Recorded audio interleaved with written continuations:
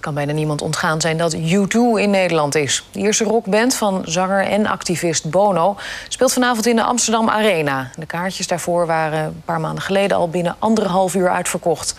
Radio, televisie, internet en de krant besteden allemaal veel aandacht aan de komst van een van de populairste bands ter wereld.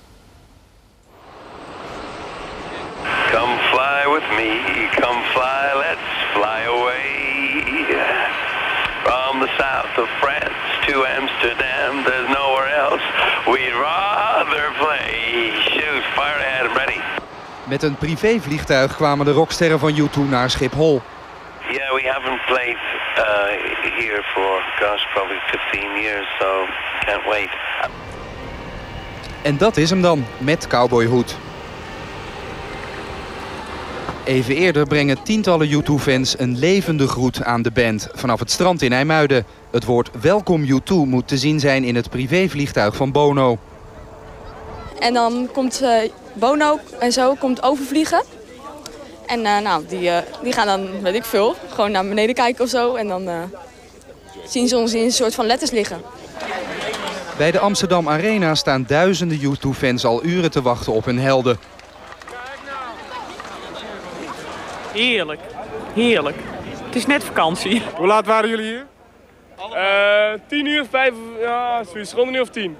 Ik kom uit Brabant, hè, dus het is net weg.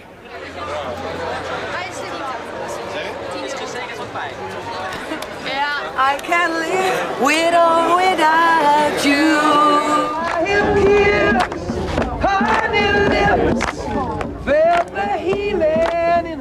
Het lijkt wel of Bono zijn band U2 erbij doet. Hij is vooral in het nieuws als activist. Hij strijdt tegen armoede, tegen aids, voor mensenrechten en vrede. Wereldleiders zoals president Chirac willen graag met de Ierse zanger op de foto. Tien jaar geleden schold Bono Chirac nog uit... vanwege Franse kernproeven op een eiland in de Stille Zuidzee. What a wanker you have for president! What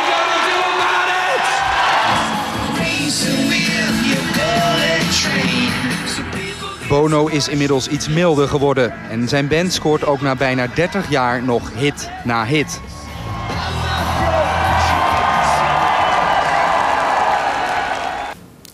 Een van de grootste rockbands van deze tijd is weer in Nederland, U2.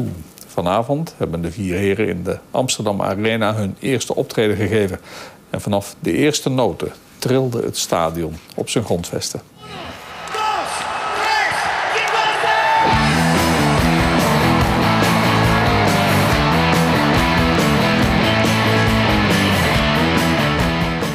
Uitzinnige menigte van 50.000 man gaat vanavond in de arena uit zijn dak.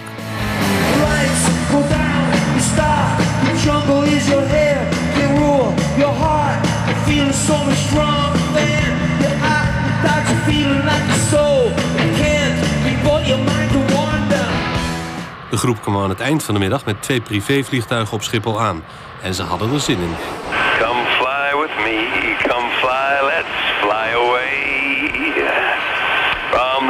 the south of France to Amsterdam, there's nowhere else we'd rather play. Shoot, fire ahead, I'm ready. U2 komt al 27 jaar voor concerten naar Nederland. En vanaf het begin zijn ze al populair. It's interesting that you know the Dutch radio traditionally when we were starting out and the Dutch concert circuit was much more progressive than anywhere else in Europe. So you could you could you could be on the radio here more than you could in any other European city. So it's always supported music.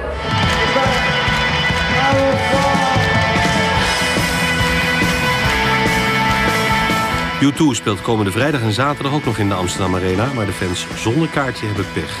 De 150.000 beschikbare kaartjes waren binnen anderhalf uur uitverkocht.